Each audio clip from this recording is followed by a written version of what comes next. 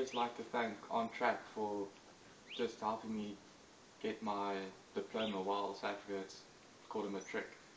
But um, they were absolutely amazing in every way they could to help me achieve this goal so I can carry on riding and be committed to it as much as I can. And Andrea helped me a lot with everything and was always there when I needed her and as well as probably all the teachers. Uh, amazing online schooling. It made my life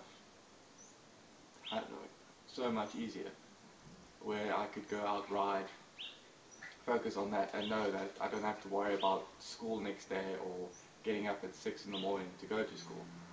It's just made life much simpler and it's very interesting online also. It's a new experience and they did cater for it very well. It's not it's like going to school except you only go maybe three hours a day.